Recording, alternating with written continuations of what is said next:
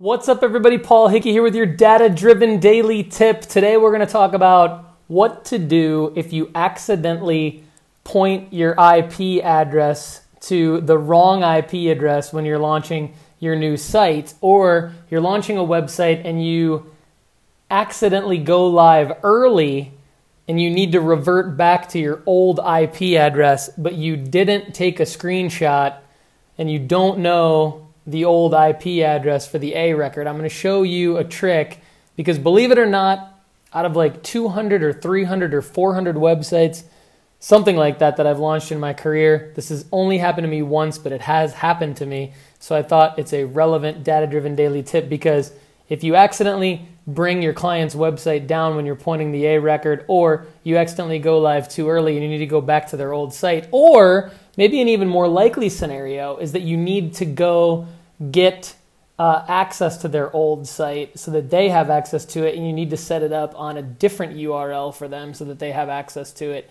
You need the old IP address to do that, right?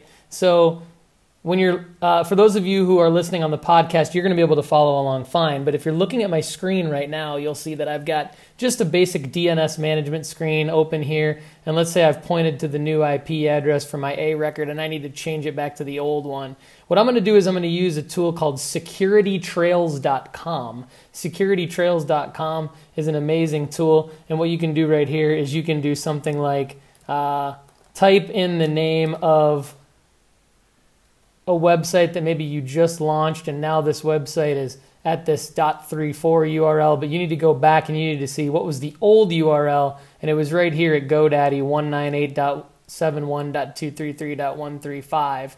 So you've got the new um, IP at WP Engine, you type in the old URL if you need to go back and get access to the old website. Just for example, securitytrails.com is a great way to do that. Thank you to securitytrails.com for being a great tool. They actually saved my butt last week uh, when I made a mistake on a client's website in the middle of the night. Luckily, nobody saw it and I was able to bring their website back up. So, no worries there. We are good to go thanks to securitytrails.com. I really appreciate it. Hopefully, this has been a useful data driven daily tip for you.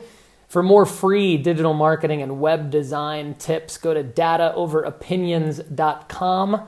And uh, would really, really appreciate it if you subscribe to the podcast. Go to datadrivenpodcast.com to check out more information on that. And then, of course, the Alexa flash briefing you can get, add to your Alexa enabled devices by going to datadrivendaily.com and just click the enable button.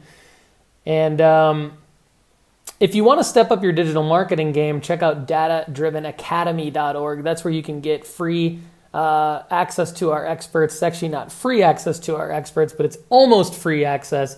It's basically a value that you will think is free because it's less than $80 a month. And what you get is live access to our experts at least once a month, answering your digital marketing and web design questions for you.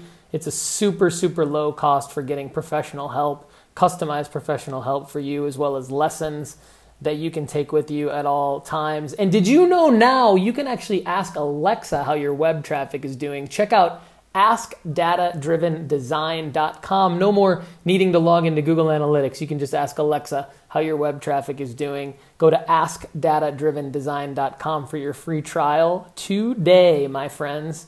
I'm Paul Hickey. Thanks and have a great day.